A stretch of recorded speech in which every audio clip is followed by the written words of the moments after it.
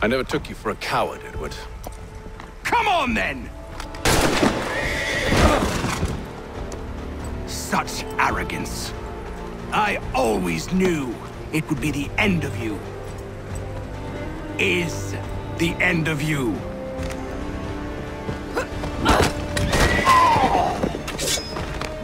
Don't. Hurry before he gets away! I said go!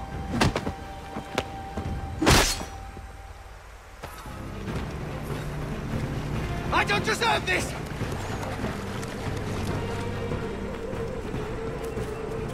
You're a hypocrite! I...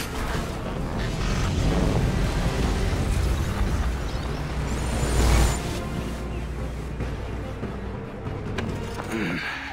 Why, Haytham? Your death opens a door. Nothing personal. Well, maybe it is a little personal. Been a pain in my ass, after all. But we are brothers in arms. Once, perhaps. No longer.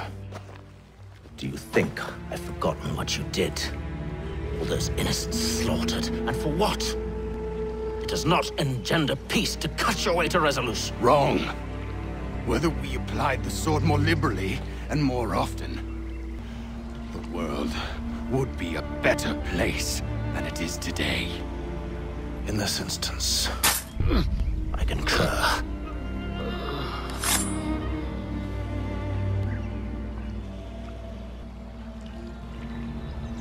Farewell, Edward.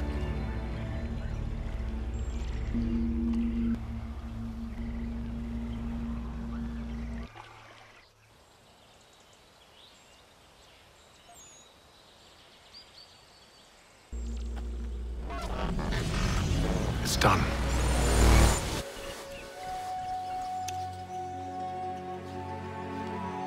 Now I have upheld my part of the bargain. I expect that you will honor yours. Follow me.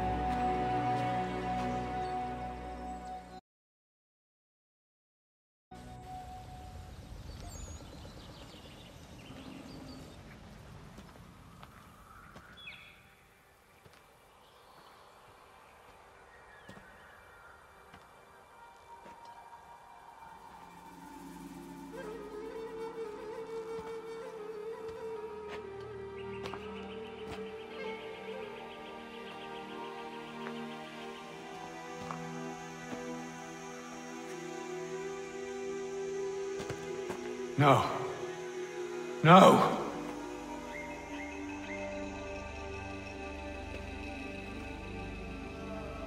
You seem disappointed. I thought that I held a key that would open something here. This room is all there is.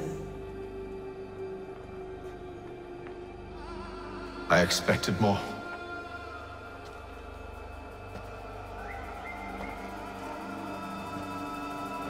What do they mean?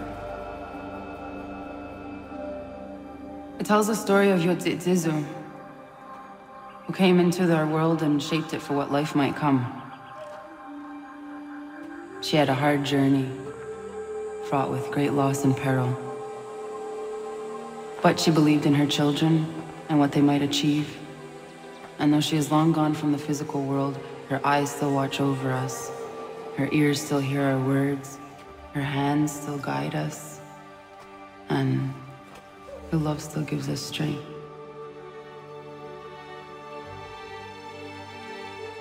You've shown me great kindness, dear. Thank you.